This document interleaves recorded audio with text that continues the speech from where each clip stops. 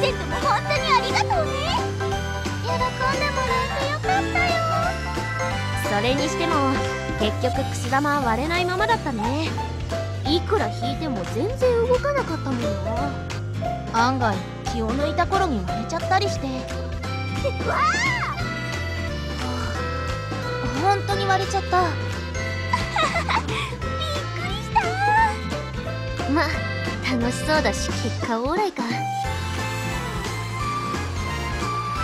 か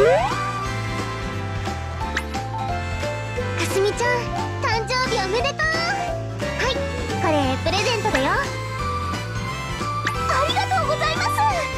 あこれ常夏パークの招待券5人分あるからポッパのみんなで遊びに行っておいでよはい夏休みにみんなで行きますね写真もたくさん撮って送ります私も楽しみにしてるね。